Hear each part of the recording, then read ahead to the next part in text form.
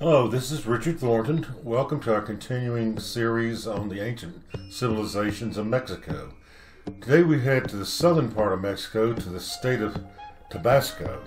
The state of Tabasco is bordered on the north by the Gulf of Mexico, to the northeast by the state of Campeche, to the south by the state of Chiapas, to the southwest by the state of Oaxaca, and to the northwest by the state of Veracruz. All of the state of Tabasco is located south of the Tropic of Cancer, therefore has a tropical climate. The northern portion uh, near the Gulf of Mexico looks very similar terrain-wise to the Gulf Coast of the United States.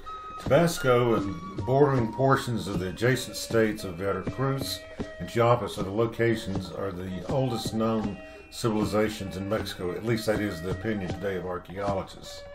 Here, one finds the what is called the Olmec civilization, the Epi-Olmec civilization, the Gulf Coast civilizations, and some of the earliest Maya cities. This video was made possible by an endowment set up by architects Sid Barrett in 1969 and it continues to this day. The original concept of the Barrett Fellowship was quite different than today, which mainly consists of small stipends to assist students in studies overseas. Uh, my project was conceived as a master's type program in which I had to take seven classes before leaving for Mexico, then prepare a thesis after I return to Atlanta, then teach classes in pre-Columbian architecture while I remained at Georgia Tech. My story begins in the winter quarter of my sophomore year at Georgia Tech School of Architecture. I noticed a note on the bulletin board advertising for a volunteer student to prepare site plans for the famous archaeologist Arthur Kelly. The site was on the Chattahoochee River southwest Atlanta where they were excavating a very ancient town in the midst of the construction of the Great Southwest Industrial Park. They needed a student to do an ink on mylar site plan. The archaeological zone consisted of multiple village and town sites that were occupied from roughly 450 BC till around 1825 AD. At the time that I was making contact with these people, they were excavating the lowest village, which dated back to around 450 BC through 250 AD. Dr. Kelly was director of the anthropology department at the University of Georgia, but most of the the professors and the students working on this archaeological site were from Georgia State University. Therefore, Dr. Kelly asked me to come to downtown Atlanta for an interview at Georgia State University. Samples of my ink work from architecture design projects at Georgia Tech far exceeded the skill level needed for Dr. Kelly's work. So the interview went by very quickly. Then we went on to discuss what was being discovered along the Chattahoochee River. It was fascinating there was a cluster of Native American artifacts in the center of the table. Dr. Kelly explained that they were looking at artifacts from the Chattahoochee River Valley, which appeared to be either made in Mexico, probably southern Mexico, or else copies of Mesoamerican artifacts. I thought that was fascinating, but didn't quite uh, understand what. There were several bowls and cups on the table, but what really caught my attention were some cylindrical ceramic seals. They're used for making uh, tattoos on bodies and for marking pottery. They weren't quite as complex as ones I'd seen on a National Geographic special on the Mayas, but they obviously were closely related to Mesoamerica. I think they were onto something. Now, I was just a sophomore in architecture school, so I knew nothing about either Mexican pottery or Southeastern Native American pottery. So I had just had to take the word of the professors, although I did notice that the the ones they zeroed in as being possibly from Mexico did look different than other pottery in the room that came from Georgia. Dr. Kelly stated that most of the artifacts on the center of the table came from the lower Chattahoochee River, the lower Flint River, or the vicinity of Attapulgus, Georgia. We now know that these cylindrical seals are almost identical to those made by the Olmec civilization, as, as, it's called, and by ethnic groups living in the periphery of the Olmec civilization. But that was not known back in 1969. However, he had found figurines and pieces of figurines that he also thought were similar to those from southern Mexico. As you can see, this one does seem to have the same type of feeling as a typical figurine from southern Mexico. A few weeks later, John S. Pennington, a popular writer for the Atlanta Journal Constitution, interviewed Dr. Kelly about his discovery of what appeared to be Mesoamerican artifacts on the Chattahoochee River. This was a very popular article in the Atlanta Journal Constitution and immediately brought the ire of all of his peers, or at least most of his peers in the archaeological profession. Arthur Kelly was a supervising archaeologist for what is still the largest archaeological project ever carried out in the United States. So his opinion on the artifacts should have carried a lot of weight, but such was not the case. Several professors at the University of Georgia and at other southeastern anthropological schools began to conspire to get rid of Kelly and to discredit his, his statements about a Mesoamerican presence in Georgia. This ultimately culminated in December of 1969 with Kelly being forced to resign from the faculty of the University of Georgia. For the rest of his life, he was a pariah among most archaeologists in Georgia and ignored, although he still had a good reputation in other parts of the United States. So, in the autumn of 1969, when Dr. Kelly was embroiled in a behind the scenes catfight with his fellow archaeologists, I was preparing the proposal for the Barrett Fellowship, the very first Barrett Fellowship. My faculty advisor, Ike Porta, was a friend of Dr. Kelly and suggested that my research question be specifically a search for the similarities between the indigenous architecture of Georgia and the indigenous architecture of some section of Mexico. We did not know where he would be at that time. My proposal was completed the day after Dr. Kelly's last day at the University of Georgia. There's some irony in that.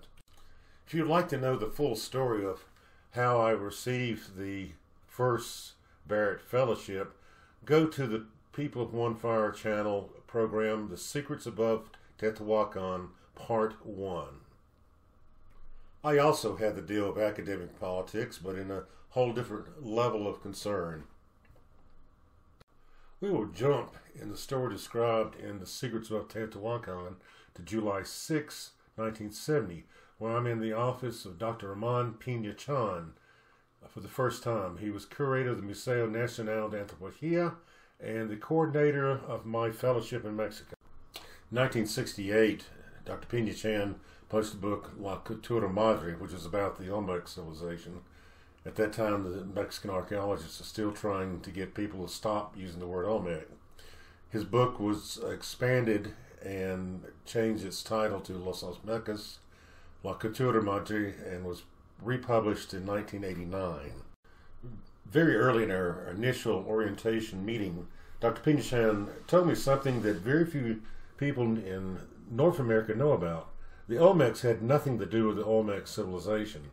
They were a Nahuatl people who entered the region of Tabasco and southern Veracruz probably around 1000 to 1100 AD, which is roughly 1500 years after the collapse of the so called Olmec civilization.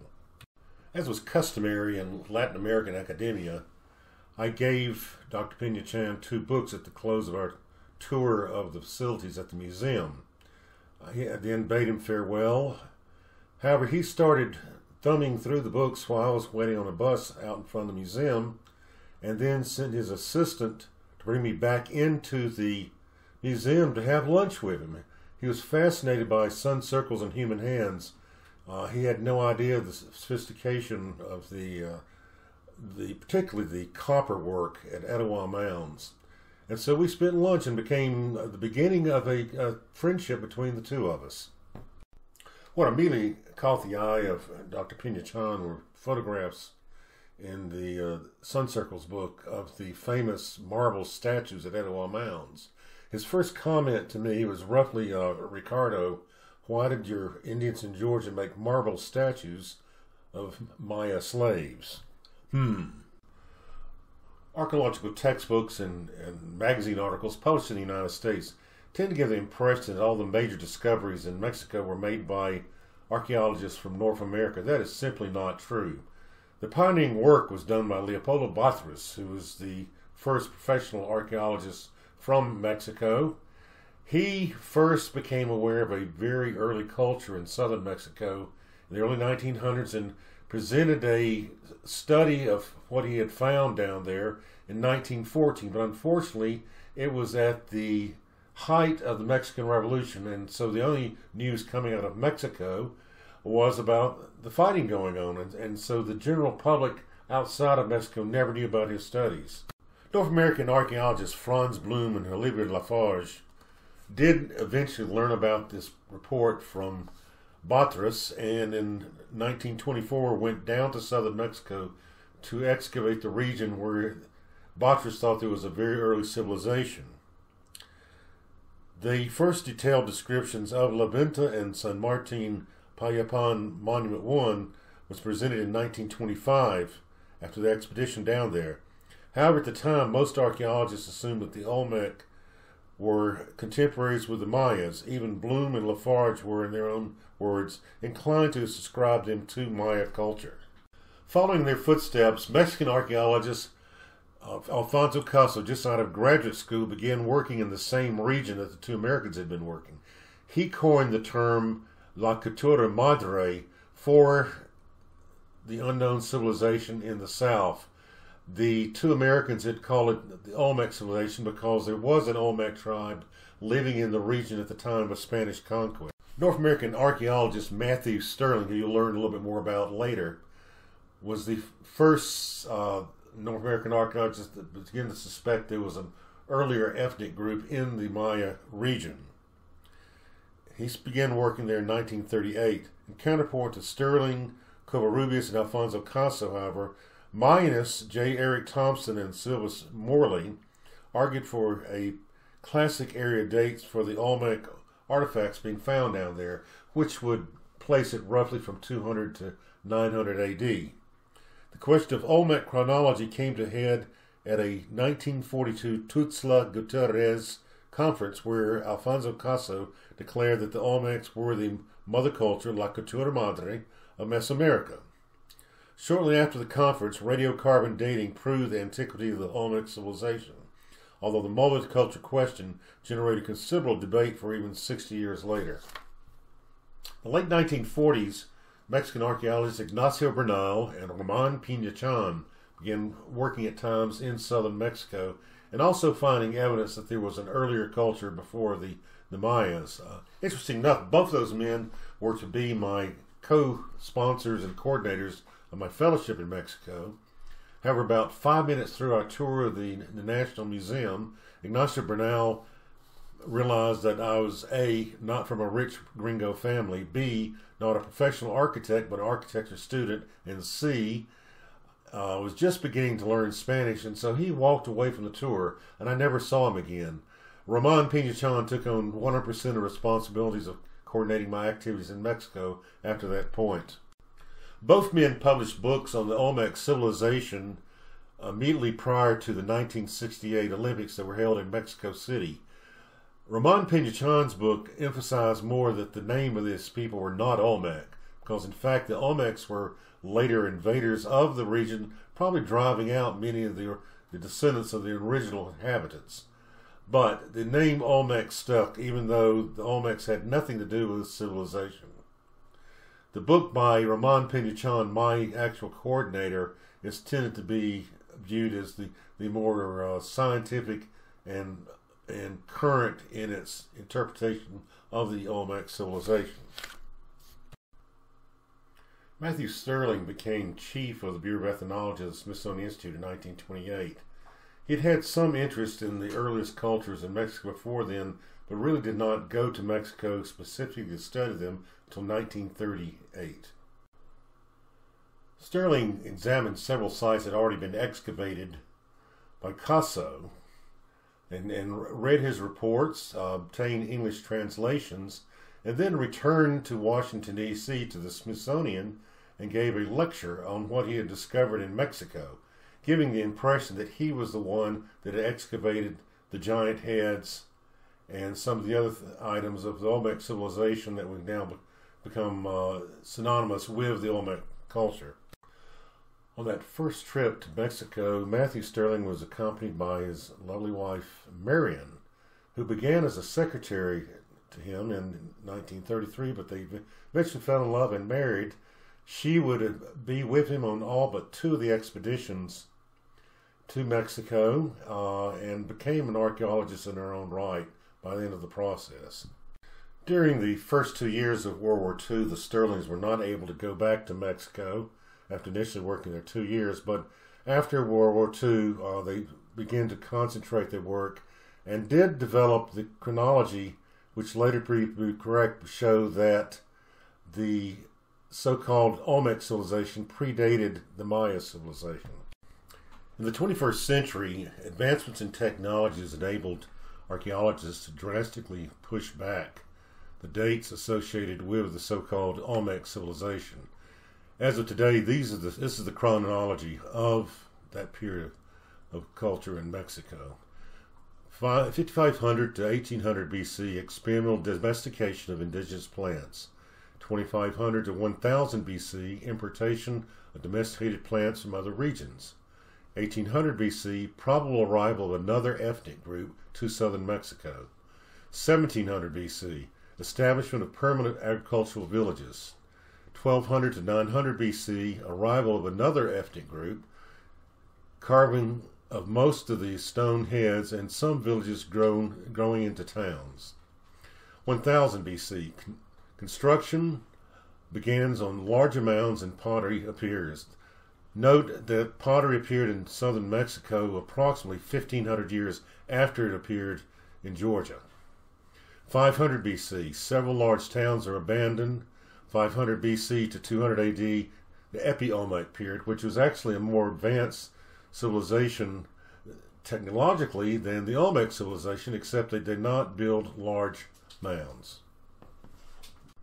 I arrived in Tabasco during the third week of August 1970, and as I went out into the campos or the countryside, I immediately noticed earth forms made by man that reminded me of the southeastern United States. Here is where I began to really see architecture and site planning that obviously was connected somehow to what developed later on in the southeastern United States, in particular in Georgia. But it would take many years before all the answers would come to me. Much was yet to be learned about both the creeks and the people who created the Olmec civilization. Basically, what I could say when I wrote my report on the, uh, the fellowship was that I found earthworks in Tabasco and southern Veracruz that were very similar to those in Georgia. But I really couldn't go any further. I had nothing to go by as far as, as the details of the various civilizations in each area. This aerial photograph is of Laguna de los Cerros in the southern tip of Veracruz. Now, in the 21st century, my studies of the creeks continued, and I was able to find eyewitness drawings by William Bartram, which show that the earthworks are identical in the two locations. The Proto Creek towns in Georgia and many of the so called Olmec towns in southern Mexico. Here you see a comparison of the, the large Olmec city of La Venta compared to the layout of the creek town of Coweta in central Georgia in 1776. Also, during the past 20 years, I've been able to photograph many examples of Proto Creek art at various museums in the southeast, particularly in Georgia, Alabama, and Tennessee. In particular, the statuary produced by the commoners and middle class people in southern Mexico were quite similar to the types of statuary found in Georgia. Now, in Mexico, you seldom see these artworks by the commoners, but you can see them in the back storage rooms of, of uh, museums where I often had access. The copper ornaments and artifacts found at Etowah Mounds in particular are quite similar, if not identical, to their counterparts in several Olmec sites in southern Mexico and also in some of the western and southern Maya cities, where they might be gold instead of copper. In fact, there is a stone carving of a priest dressed as an eagle dancer at Chichen Itza in northern Yucatan that has almost identical details to a copper plate found at Etowah Mounds in Georgia. This was pointed out by the chief archaeologist of Chichen Itza in the premiere of the History Channel series America Unearthed. Also in the art of the lower southeast, particularly in eastern Tennessee and Georgia, one can see pubic guards, which contain symbols which are really part of the Maya syllabary or the Maya glyphs. They have the, probably have the same meaning in both. The biggest piece of the jigsaw puzzle would not occur until 2015. That's when, after many years of research and searching, I discovered the missing Creek migration legends, eh, the original handwritten documents prepared by Colonial Secretary Thomas Christie, based on the translations by the famous Creek woman Mary Musgrove. Several, in fact, most of these migration legends describe journeys either by water or by land from southern Mexico to what is now the state of Georgia. There was no doubt about it. The bulk of the tribes that made up the Creek Confederacy came from the very same region where the so-called Olmec civilization rose around 1500 BC. There's one more piece of intriguing graphic evidence. The Cascajal tablet or block was found at a construction site in the 1990s, but was not analyzed by anthropologists until around 2006. They came to the conclusion this was an example, the earliest known example of a writing system in Mexico. Let's take at the regions where the so-called Olmec civilization rose. That's one thing we should emphasize. In fact, it was not one homogenous civilization as such, but a group of regions where similar cultures rose, each of them focusing on a major town. For example, the, the large city of La Venta, which is a Spanish name, was located in tidal marshes very close to the Gulf of Mexico on an island. Uh, in fact, the area around there originally was a series of islands surrounded by marshes. But other towns of varying sizes were located in entirely different environments. Some were more akin to, say, the Piedmont here in the southeast. Others were built near mountains. Others were built in the mountains, each one having its own influence area. Approximately at the point where the city of La Venta developed, the brine water changes to freshwater marshes and freshwater ponds. The brine water tidal marshes of the state of Tabasco are no different in appearance than those seen along the coast of Georgia and South Carolina, or perhaps near Apalachicola, Florida. Further inland in in Tabasco, uh, Florida, the coast of Georgia, and South Carolina, can be found freshwater marshes and freshwater lakes. Both areas, they look virtually identical. Moving farther inland in both regions, one comes upon a, a terrain of gently rolling hills and red clay. Uh, the southeast United States does not have an exclusive on red clay. The vegetation there is jungle-like in both regions. The primary difference being that the trees growing in southern Mexico would be uh, composed of tropical climate trees, whereas those in the southeastern coastal plain would be characterized by either wet temperate or semi-tropical species. Let's take a look at Laguna de los Cerros, which is a Olmec town in the hill country of southern Veracruz, where the original scenes of the Cachita Creek migration legend begin. Interesting enough, it has many, many copper artifacts in its soil. Pyramid A at Laguna de los Cerros is no difference in composition or in appearance than many so-called mounds in the United States, which really are just earthen pyramids. What's really interesting though about this site though is that the Pyramid A at the Olmec town site is very similar to the original appearance of Mound A at Etowah, which is also known for its copper artifacts. We can't be sure the same people lived in both towns, but that does begin to make one think there was cultural connections between the, the two places. Perhaps the most famous Olmec civilization city was La Venta, which was located in Tabasco State uh, at the edge of the tidal marshes.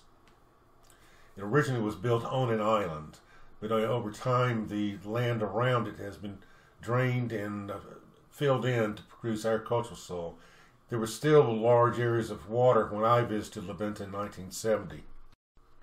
La Venta was constructed on a two square mile island at the edge between the saltwater marshes and the freshwater marshes, about 10 miles inland from the Gulf of Mexico.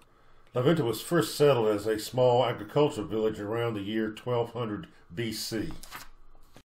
The village began to grow rapidly around 900 BC, and by 800 BC was becoming one of the dominant towns in the southern Mexico region.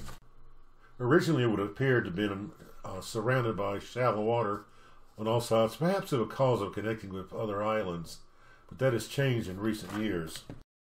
When I visited La Venta in 1970, uh, it was partially surrounded by water, but today, on most sides, it's either farmland or a town has grown up next to the ruins catering to the tourist traffic.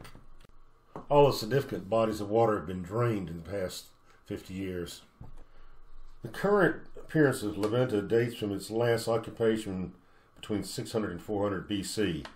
Is this architectural tradition which continued to be constructed in Georgia until the late 1700s.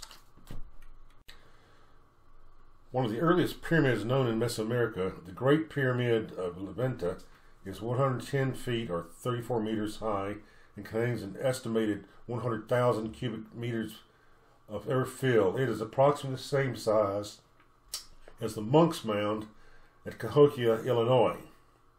The current conical shape of the pyramid was once thought to represent nearby volcanoes or mountains, but recent work by Rebecca Gonzalez Lauck, a architect and anthropologist, has shown that the pyramid was in fact a rectangular pyramid with step sides and inset corners, and the current shape is most likely due to 2,500 years of erosion. The pyramid itself has never been excavated, but a magnometer survey in 1967 found an anomaly high on the south side of the pyramid. Speculation ranges from a section of burned clay to a cache of buried offerings has caused this anomaly. Unlike later Maya and Aztec cities, La Venta, like most of the other Olmec cities and towns, was built from earthy clay. There was very little locally abundant stone for the construction of buildings in the town. Large basalt stones were brought from the Tuxtla Mountains by raft along major rivers, but these were used nearly exclusively for monuments, including the colossal heads, the altars, the thrones, and various stelae. For example, the basalt columns that surround Complex A in La, in were carved from the Punta Roca Partido on the Gulf Coast north of San Andreas Tuxtla volcano. Little more than half of the ancient city survived modern disturbances enough to be mapped accurately. Today, the entire southern end of the site is covered by a petroleum refinery and has been largely demolished, making the excavations difficult or impossible. Many of the site's monuments are now on display at the Archaeological Museum and Park in the city of Villahermosa, Tabasco. As you can see in this map, dense urbanization now has crept up to the very boundaries of the archaeological zone, which takes away from the quality of the site visiting it. We're now going to take a look at several of the better known artistic creations unearthed by archaeologists in Olmec civilization cities. This particular one appears to be a, a scribe working inside of a cave, although it's also been interpreted by Eric von Daniken in the late 20th century as a, an extraterrestrial astronaut. This appears to be a primitive form of hominid, like Homo erectus, perhaps a chimpanzee, that has been captured and bound to a pole. This is quite controversial as the actual interpretation. Some people interpret this as being an African, but to me it looks much more like an ape than it does a human. Now here's another view I took from the other side of the sculpture. You can see the face more clearly. It's more focused on the face. It really doesn't look human to me at all. When you look at a view of a photograph taken farther away from the sculpture, you notice he's looking up to the sky. I think that's very odd too. It's like it's looking up into the heavens where it came from. This is one of several stone mosaic paving patterns. At La Venta, they essentially carved out bricks from stone and, and made uh, various geometric patterns with it. We have several examples we'll be showing you today. Here's another site there at La Venta. Um, different colored rocks, more of a reddish colored, and not quite as well fabricated, but again, it's a, it's a complex ge geometric form. These are obviously not paving stones. It appears to have been a pattern created by standing short sections of, of rock columns, or it could be these were tall columns and they've collapsed through the years. It's not possible now to say the, the way they scattered about the landscape. This isn't an altar or perhaps a throne. It displays a noble sitting. It appears to be the opening of a building or perhaps a cave. It's hard to say, but it's a recreation of a of an architectural form carved out of a single monolithic stone. This altar is very similar, but it's not quite the same as the previous one. There, there's subtle differences in the details, even though the priest in the center is, is sitting in the, in the same pattern. Here's a side and rear view of another altar. Now, it's possible that it did function as a throne, but that the the leader sat cross-legged on top of the throne rather than sat in a chair. That's always a possibility. This is the first of several giant Olmec heads, as they're known, that we'll be looking at today. They have a different facial feature than the smaller sculptures and other types of Olmec art. You'll notice as we go through the program. Most of these giant sculptures, including this one, the man is wearing a helmet. It's never been fully decided whether the helmet was for the Great Mesoamericans ball game or for warfare. Tres Zapotes is considered the most beautiful of the Olmec civilization city sites. It's in the, the Tuxtla Mountains of southern Veracruz. It is the most northerly of the major Olmec city sites and is definitely in the region where several branches of the Upper Creeks originated. We know that from the migration legends. Founded as an agricultural village in the centuries before 1000 BC, Tres Zapotes emerged as a regional center early in the Middle Formative period, perhaps around 900 800 BC, roughly coinciding with the decline of San Lorenzo Tenochtitlan. The earliest public architecture yet detected has been dated to the end of the Middle Formative, perhaps around 500 BC. Unlike the city of La Venta, Tres Zapotes was not abandoned at the close of the Middle formative period, or about 400 BC, nor was it immediately affected by the collapse of the Olmec culture in the eastern Olmec heartland. However, during this next several hundred years, the Olmec culture at Tres Zapotes and on the western edge of the Olmec heartland evolved in what has come to be called the Epi-Olmec or the Veracruz culture. Most of the monumental sculpture at Tres Zapotes is Epi-Olmec, dating from the late formative period, uh, or roughly around 400 BC to 200 AD. These sculptures show, as do the Tres Zapotes ceramics, a continuity with and a gradual change away from traditional Olmec patterns. It was during this Epi-Olmec period that a new Mesoamerican writing system appeared at Tres Zapotes. Isthmian or Epi-Olmec script, as well as some of the earliest dates in the long count of the Maya calendar. Although the Classic era, starting roughly 300 AD, saw continued mound construction and the appearance of, of actual stone architectural details, Tres Zapotes remained a regional center. The era nevertheless brought a perceptible decline in Tres relative fortunes as the centers of the new classic Veracruz culture grew in prominence and size to the north. Tres may have been abandoned by 900 AD, although there was smaller and later occupations periodically up to the time of Spanish occupation. What we find interesting, though, is that even though these stone heads and larger stone cultures maintained the appearance of an australoid or, or a more primitive looking human, they nevertheless became much later than the, the types of sculpture seen elsewhere in the lower portion of Mexico. TV documentaries on the Olmec civilization always seem to make statements such as, Why did the Olmec civilization vanish? Well, it didn't. Some of the cities were abandoned during a certain period of time, but others continued to thrive, and in fact, new cities appeared in the same region. It's just their culture changed. This fact is not made clear in these documentaries. One of the cities that was founded after the population collapsed at La Venta is Aquata Phoenix, also in Tabasco.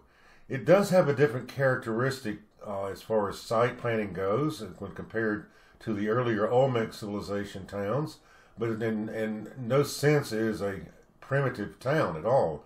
In fact, it shows great sophistication in the layout of the, the plazas and the pyramid. One thing came very clear to me when I re examined my color slides and fill notes and my journal from those days on the fellowship so long ago. There was more than one ethnic group involved with the Olmec civilization. It's very clear. There may have been as many as five and perhaps three races.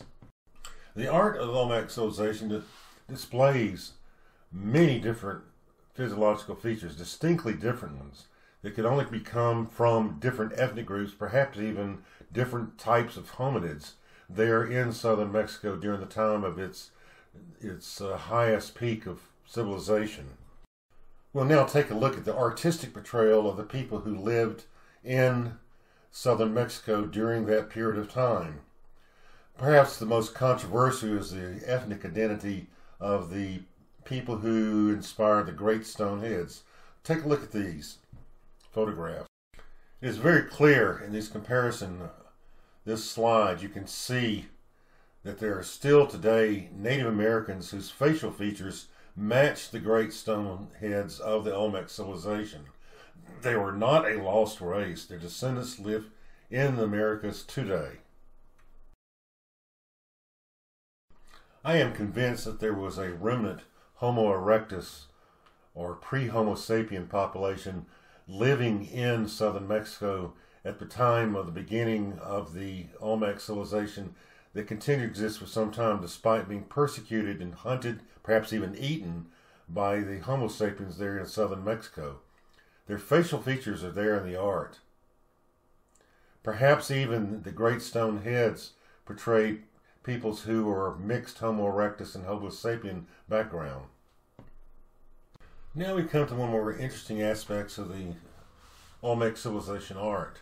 Many of the figurines portray a, a human physical type with a oversized skull and, like a jar-like cranium that extends far above where normal humans today have their skulls.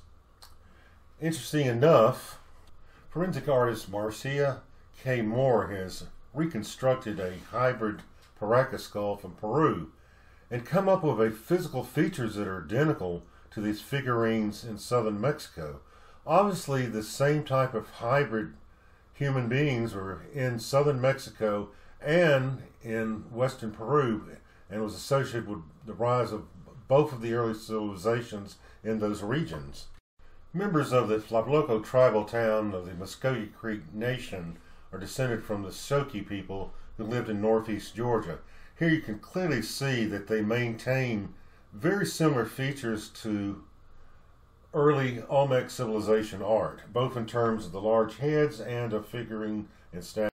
During the period that the ancestors of the Shoki participated in the Olmec civilization, however, the artists also portrayed members of the community with, with European faces and with full beards. You can see all three of these characters had beards. Then we'd also find uh, statues of people with a Parac- hybrid Paracas heads, but also wearing beards, which, which suggests that maybe there were many different ethnic groups blending together that created the modern appearance of the Shoki and other southern Mexican peoples. They were, they were not just one race, even. Some Olmec civilization statues even have headdresses that were quite similar to those worn by the nobility of ancient Egypt. Let's look at some of the stela or, or vertical stone monuments you find in the uh, Olmec civilization towns. The earliest ones are basically stone columns, but then later they became more and more ornate and by the end strongly resemble the stelae being erected in Maya towns. Here's another view of the people with oversized bottle-shaped craniums. You get a close-up view of their face.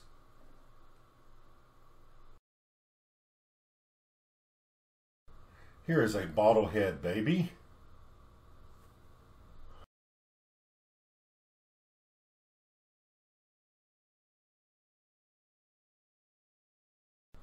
This is either a deformed person or perhaps a baby of the ethnic group that, that the Great Stone Heads was modeled about.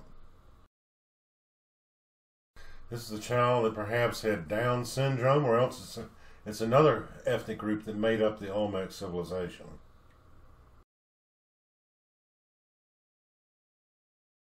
On the left appears to be an Australoid or Polynesian uh, teenage girl. On the right, possibly an Australoid is not clear what it is.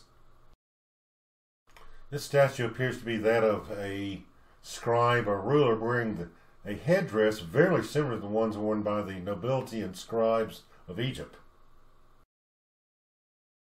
This is a large ceramic column portraying the rain god Tlaloc. Notice the goggle-like appearance of his eyes. That's typical of all of Mesoamerica. This ceramic statue appears to portray a Soki man holding a squash. This stone statue appears to portray a American Indian man holding a baby or perhaps a fish with a human face. It's not quite clear. Here are two more squads wearing Egyptian type headdresses.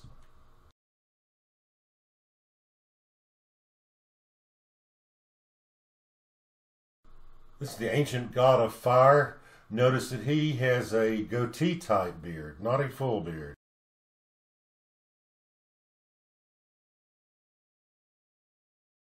The ceramic sculpture appears to be a boy or a man resting on his knee, perhaps asleep. This ceramic sculpture appears to be a bottlehead man, perhaps at a meeting. There's probably a, a, certain symbolism to the holding of one's left arm with the right hand. This head here is in an artistic style, more typical of Teotihuacan, but post-dates the Olmec civilization so we're not sure what that actually means. There was a style of art more commonly seen in central Mexico during that period, but also sometimes found in southern Mexico. It's called Olmecoid. It's a stylistic type in which the slanted eyes are overemphasized and they wear those odd looking caps. There's so much we don't know about that period of time yet because such things as cloth caps have not survived the the thousand, two thousand years, three thousand years from when they were made and where we are today. They do not show up generally in archaeological digs. By the end of the Epi-Olmec period, the art in southern Mexico strongly resembled what most people, uh, especially laymen, would call Maya art. But what actually happened was that the two cultures blended together as they evolved, and, and much of what we now think of as being Maya such as the counting system and, and this bas relief type of art, actually originated with the late Olmec or Epi-Olmec civilization. At the end of the Epi-Olmec period, a culture developed in the marshes of Tabasco, which was not even discussed in the museum in Mexico City when I was on my fellowship there. And in fact, until very recently, you could not find any information on these people in common references, whether they be online or in text. They were the Choiti or the Chontal Mayas. It is now believed that they were from originally from a lower area of Central America, perhaps Nicaragua, or Panama, one of those those countries, and then they migrated northward into the coastal region. They definitely were not the same pure Maya ethnicity that you would find, say, in the highlands of Guatemala. Yet, more so than any other culture that I studied while in Mexico, these Chontal Mayas show a direct cultural connection with the ancestors of the Creek and Seminole Indians in the southeast. There's strong similarities in many of their cultural traditions and their architecture. For example, the Native American name of the town that was preceded Helen, Georgia, was Choiti, which the same people who were in Tabasco. That means there was a body of Choti refugees at some time in the past who went along the edge of the Gulf of Mexico or else sailed across it, went up the Chattahoochee River and went to its source, which is now, of course, the alpine village of Helen. I first became vaguely aware of the Chontal Mayas when visiting the Villahermosa Museum of Archaeology and History. And it's now just the History Museum. There's a brand new archaeology museum. In that museum was an exhibit of artifacts which looked very much like the ones that Dr. Arthur Kelly had shown me one day when I was up in the Department of Anthropology at Georgia State University. And of course, I was just a young architecture student, not an archaeologist, but by that time I'd been intensely studying the cultures of Mexico and looking at thousands of artifacts throughout Mexico, so I was somewhat knowledgeable on the subject. And clearly, these seemed to be the same people that Dr. Kelly had discovered on the Chattahoochee River. So I paid closer attention to the exhibits there in Villahermosa than perhaps typical tourists would, and what I learned was the Chontal Mayas had developed a culture on the islands and the marshes of Tabasco that evolved into them becoming the master mariners of the Americas. They became the key traders for the Mesoamerican civilizations, and their boats spanned the distance of their known world. Thus, it makes perfect sense for your Chontal Mayas to be the ones who made initial contact in the southeastern United States. This model was on display in the museum and described as, as a typical Chontal Maya town. As it turns out, the layout of it is fairly accurate, but the architecture is not. We'd learn more about that later, actually in the next century. Because what happened was, when I got back to Mexico City after Tabasco and had my last meeting with Dr. Ramon Pina Chan, I asked him about the Chontal Mayas, and he basically shrugged his shoulders and didn't tell me much of anything, like they weren't even worth studying. And that's how he left it. As we went on through the years, I really knew nothing about them. In fact, to date, there's only been one person who's devoted a significant amount of time into researching the Chontal Mayas. His name is Douglas T.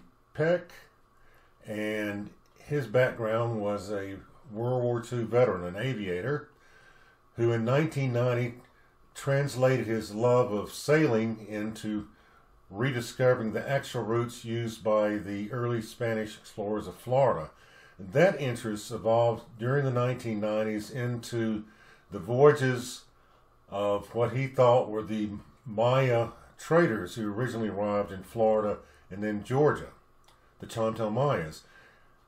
He did all the research that now we find in the references about the Chontal Mayas that it was impossible to find anything about them until Doug came along. And again, he was not an anthropologist or even a historian.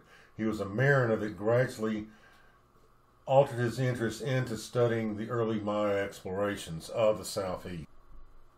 There's one important difference, though, between Doug's experiences and those most people of his non-professional background very soon, his research, both in terms of the Spanish history of Florida and the travels of the Chontal Mayas, were accepted in toto by the professional archaeologists of Florida and were printed in their journals. If that's the main source of finding his research is the official archaeological bulletins of Florida. Doug contacted me in 2003 after seeing a PBS program which mentioned my experiments in applying architectural software to studying and describing archaeological sites. He had sketches and technical descriptions of several types of Chontal Maya boats and needed someone to convert them into precise drawings. That I could do. And that's how we started our relationship. We stayed friends throughout the time he's, he was alive. He died a few years later. But in the process, I also learned a great deal about the Chontal Mayas from Doug, which I've applied to my own research as we continue to unravel the history of the Southeast. That is the reason that, in many ways, between Doug Peck and myself, we know much more about the Chontal Mayas than the typical North American archaeologists. We seem to been the only two people outside of Mexico who knew that the Chontal Mayas learned how to build boats out of planks. They were their seagoing vessels were built exactly like a Viking longboat, but actually predated the longboat. There's one more very important assistance that Doug gave me. He was able to obtain a archaeological report from the Instituto Nacional de Antropología and Historia in Mexico, which described a Chontal Maya town. And I was able to develop that with the architectural software into a complete understanding of what these original towns look like. They're quite a bit different than the model in the museum in Villahermosa. But as you can see, they strongly resembled the ancestral Creek Indian towns of Georgia, northern Florida, eastern Tennessee, western North Carolina, and Alabama. Thus, we had a direct architectural link between a culture in Mexico and the Creek Indians in Georgia, something that I was seeking to find many years ago when I was on that first Barrett Fellowship. This program has actually asked many more questions than it's answered, but that is the nature of the situation today in southern Mexico. I don't think we still really understand what was going on back in the early days of the cultural advancement in southern Mexico. We certainly know more than we did 50 years ago when I was on the first Barrett Fellowship. But again, I don't think we're beginning to understand what happened there, who came there, and how civilization that was quite unique from that of the areas of on the other side of the Atlantic Ocean would arise. But that gives time for the future, for future generations to rethink the evidence that we have and maybe come up with better interpretations than our current generation have. We shall see what happens in the future.